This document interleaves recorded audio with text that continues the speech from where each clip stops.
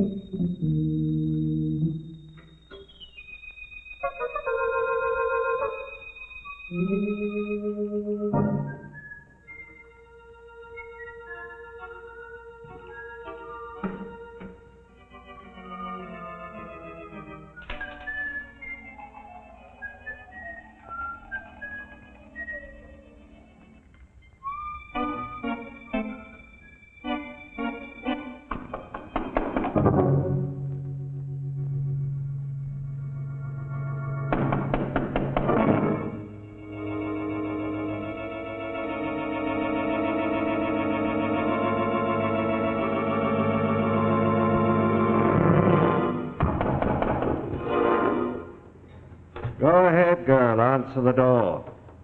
Maybe some poor wayfarer.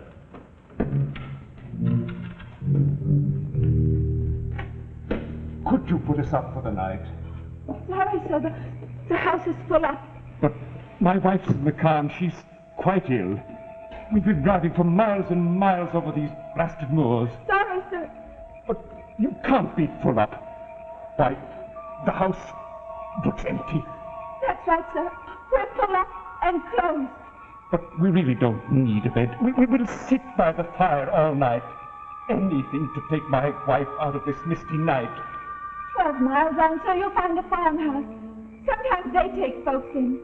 Good night, sir. But you're, you're, a, you're a tavern. You're a public inn. I can tell from the looks of you you're practically empty. Sorry, sir, but a certain party has taken this pub over, entire and complete. And as long as they pay for it, what they do is their own business. What I do is my orders. Good night, sir.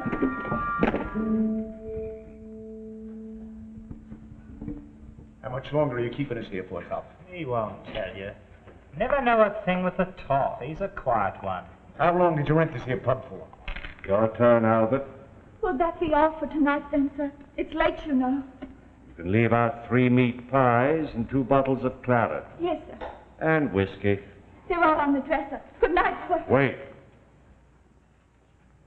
You're the only one sleeping in now? I, You sleep alone in the garret, do you? I do. Well, I hope you sleep well tonight. And if you should hear anything irregular, don't feel you have a duty to get up and investigate.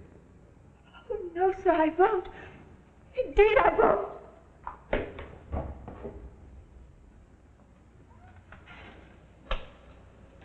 What's the idea, Toff? What are you up to, anyway? Never tell us, would you, Toff? Oh, he's a clever one, mates. And you and me, why, who are we? Just three bloomin' idiots. Am I right, Toff? That's right, Sniggers. Three idiot sailors. Lost on the blasted moor. I tell you this, Toff. We may be three bloody merchant seamen to you, but there's one thing I've learned. What's that, Sniggers? Yes, sir. I've been sailing from cape to cape, and in all the rich corners of India. And there's one thing I've learned. I'm waiting. It's the clever ones, Toff. The clever ones that makes some money. Ah, he's right. It's the clever ones that keeps everything to themselves. Their plans are clever enough, but they don't work. They don't work. Cause they forget some one little thing that simple fools like us could see. Tell us, Toff. Tell us what your plans are. Aren't you the clever ones, though? I know what he's keeping us here for. So they can't find us. Ah, but I'm sick of it. How can they find us? They're nothing but three heathens. Uh, Who's afraid of three heathens, eh, Sniggers? We can't keep hiding forever, and then running and hiding and running forever, the whole black world over. Remember that first night in Bombay? Aye, that was the Toff's mistake then. He was clever, all right. He was so clever he lets them follow us right onto the boat. That's where the old trouble started. Uh. If them three heathens hadn't followed us onto that boat, we might have had our little trophy sold by now. Aye. Am I right, Sniggers? Sold and the money divided between us like we always said. Aye. Hey. How much do you figure that ruby's worth? Any price, How much is any price? any price we ask.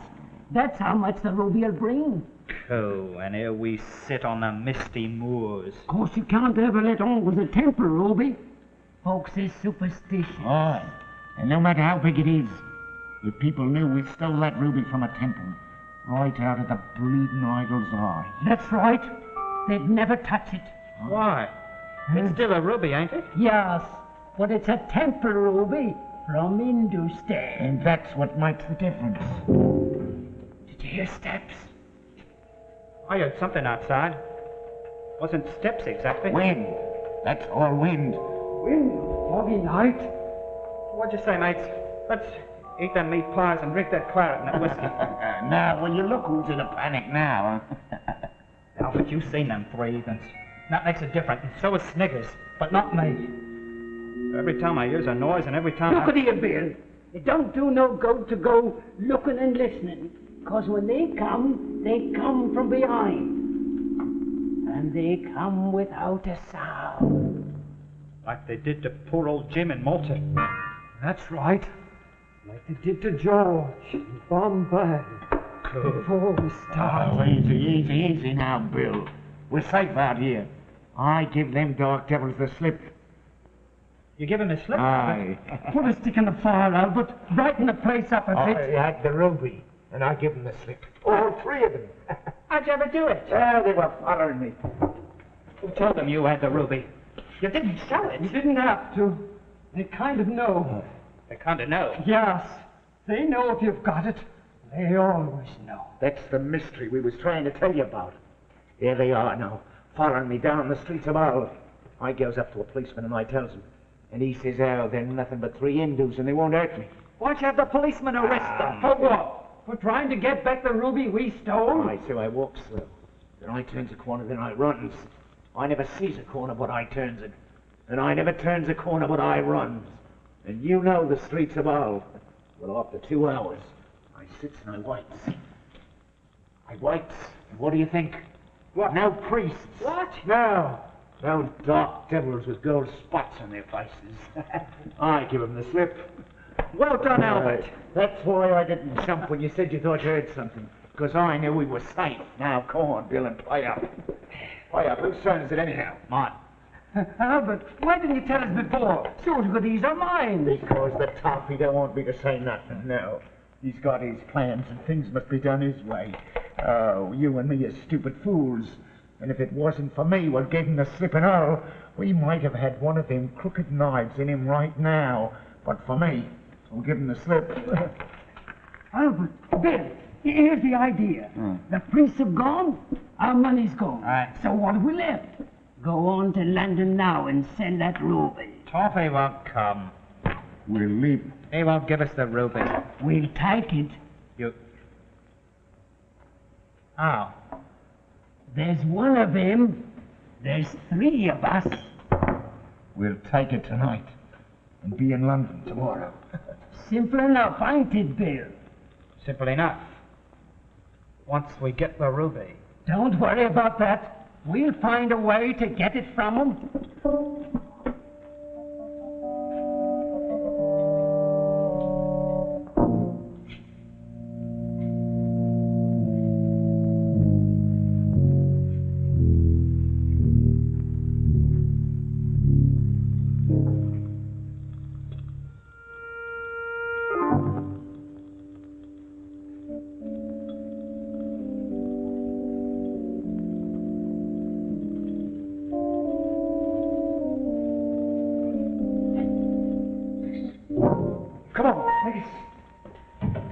Goodbye, old man.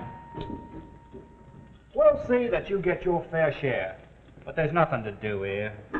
No girls, no dance halls. We must sell that ruby. I'm not a fool, Bill. Oh, of course not. Of course you ain't. And you've helped us a lot. Well, goodbye, old man. Say goodbye. Of course. Goodbye. And open the shutters again, Bill.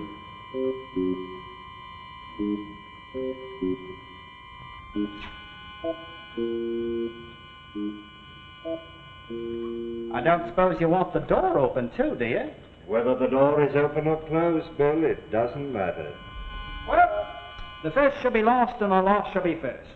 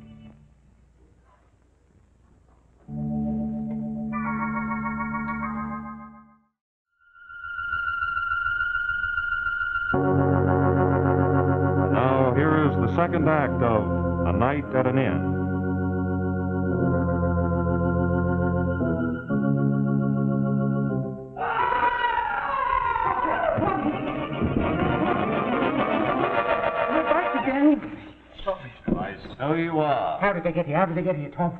They walked, of course. But it's 80 miles from here to Hull. Did you know who was here, Toff? Expected them about now. 80 miles. What are we to do, Toffee? Ask Albert. If they can do things like this, there's no one can help us but you, Toff. I always knew you was a clever one. We won't be fools no more. We'll obey you. You're strong enough and you're brave enough. And not many would steal a ruby eye from out an idol's head. And from such an idol as that was to look at, and on such a night, too. You're brave enough, Bill, but you're all three of you fools. Jim would have none of my plans, and where's Jim? And George, what did they do to him? Don't, Toffee, So your strength is no good to you. You need cleverness, or they'll have you the way they had Jim and George. we know, we know. Those black priests will follow you around the world in circles, year after year, until they get the ruby eye. And if we die with it, they'll follow our grandchildren. And this fool thinks he can escape from men like that by running round three streets in the town of Hull. What's truth? You haven't escaped them because they're here. So I suppose. You suppose? I took this place especially to receive them. Well, you're a deep one. Ah, I saw something just then, and we better shut the shutters. Don't shut the shutters. But, Toffee, they can see us. One doesn't let the enemy do that. I don't see why we... No, of course you don't. No revolvers now. But why not, Tom? Don't want any noise at my party. Oh. We might have guests who haven't been invited, but knives are a different matter. I think they're coming now, Toffee. Not yet. Well, when will they come? When I'm quite ready to receive them, What do you do when they come? I shall do nothing. What? They'll creep up behind me. And then my three faithful friends, Sniggers and Bill and Albert, will do what they can. You can trust us, Toff. If you're a little late or slow, you'll see reenacted the cheerful spectacle that accompanied the death of Jim in Malta. Don't, Tommy. All right. Leave me there, All all right. right? Now, I shall sit here, with my back to that door. Now, you three go out, one by one. Mind now, be sure you cross that open window, so they'll think you've gone to the other room. I get it, Toffee. Then crouch low, creep back, so that you'll be hiding here when I need you. Night, Toffee. Night, Tommy. Good night, Toff. Turn out the lights. Think the firelight will prove more inviting. No revolvers now. The police in Yorkshire are proverbially inquisitive.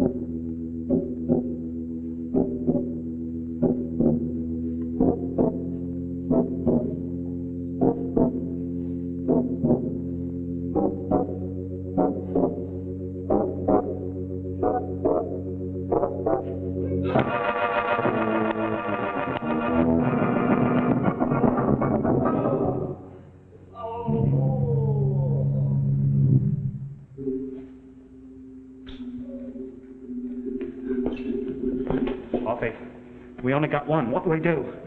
Only one? Yes. Very well. You shall now witness my demise at my Yorkshire residence. I shall be knight, and you'll be ready to receive guests.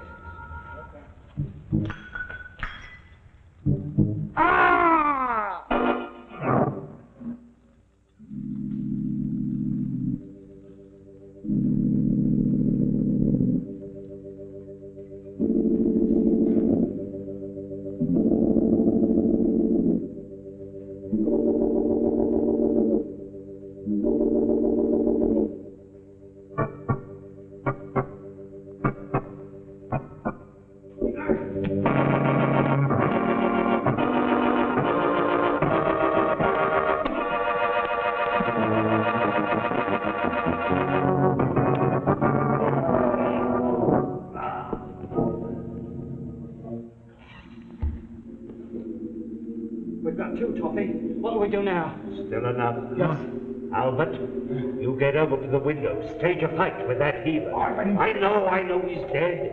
But you and Bill are going to resuscitate him. On his feet. Sniggers, help them. Keep low, keep low.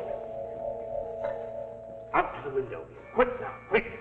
Sniggers, turn him over. Easy. Hold up.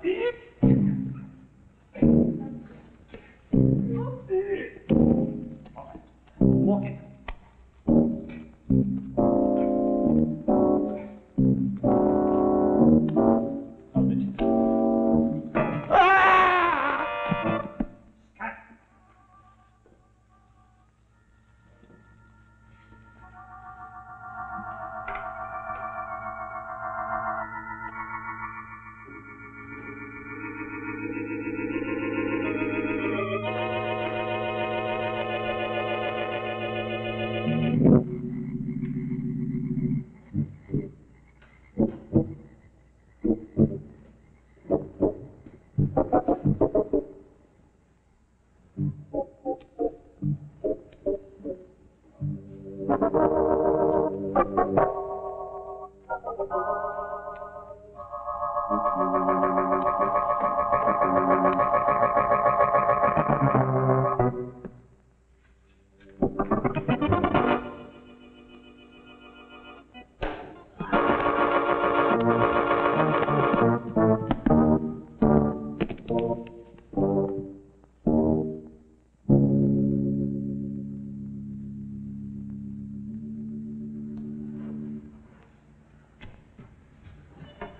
night's work, my friend. Well done, Toffee. You are a dig Ah, you drink one of their blood one.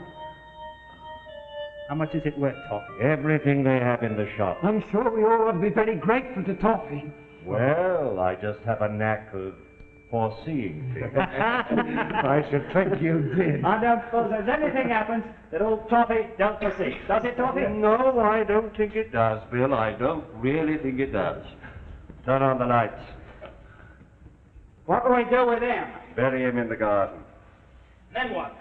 Then we go up to London and upset the Ruby. Well, I think we've come through this night's work very well. Well, the first thing we ought to do is give a little supper in honor of old Toffee. Well, I think we've earned our bit of supper. Toffee. Oh, oh who guessed everything right? Why, good old Tom. Here's the Toffee who oh, saved our lives. Here, here, it foresees everything. Speech, Tom. Speech.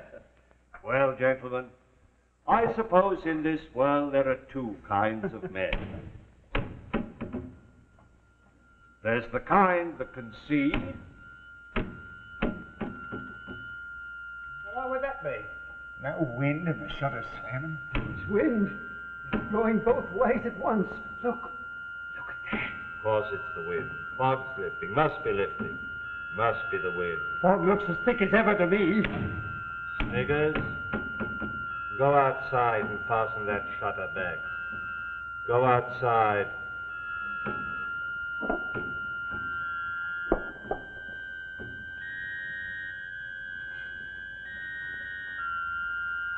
Well, gentlemen, as I was saying, in this world there are two kinds of men. Those who can see and those who can foresee. Now, the advantage of being able to foresee... Stop it! Stop it! I've been thinking about my share in that ruby. I don't want it, Tommy. I don't want it. Nonsense, Sniggers, nonsense. You, you shall have it, Toffee. You shall have it yourself. Only Si Sniggers has no share in this here ruby. Say it, Toffee. Say it. Want to turn informer, eh, Sniggers? Toffee, take back my share, Toffee. Take it back. What do you mean? What are you driving at? I, I'm saying, I, I saw something. I saw something what I didn't like. What didn't you like? Toffee, take back my share. Please take it, Toffee. What have you seen? The idol. I've seen the beastly idol. You couldn't have. Take back my... He's blind. He's groping. He wants that ruby eye back. Then give it back, Toffee. Please, Toffee, please You're give it back to him. I dare you, Toffee. Put that ruby in the window and you'll see. That's what he wants. That's what he's groping for. That's what he must have.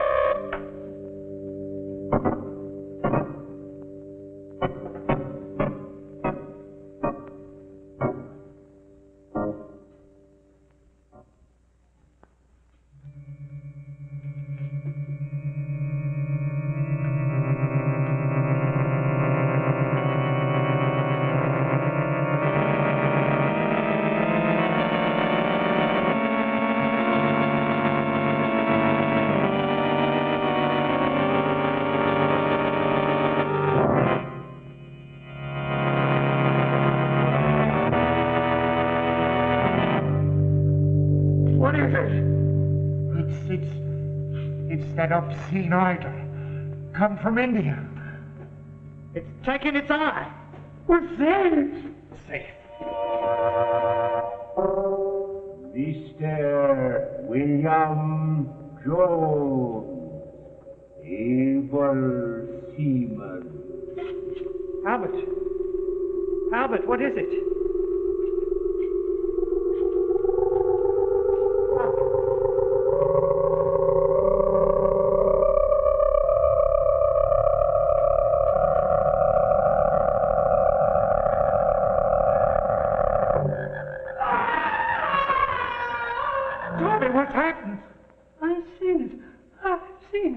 Seen it. What is it? What is it?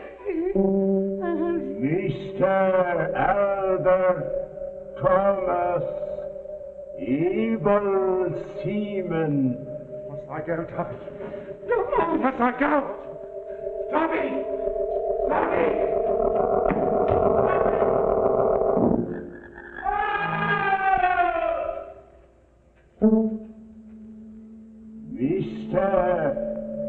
Jacob Sniggers Smith, able seaman. I can't go, Tommy.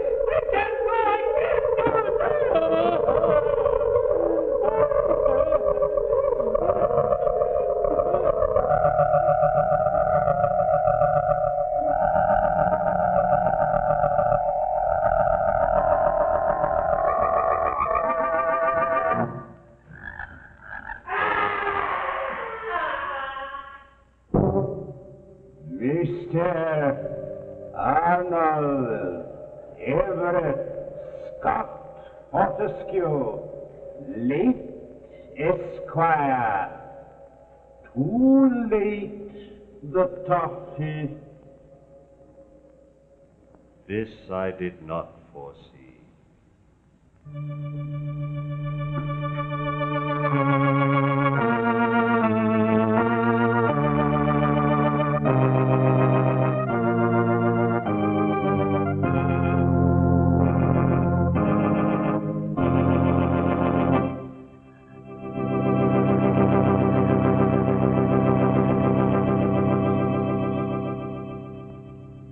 Thank you, Boris Karloff, for a fine performance.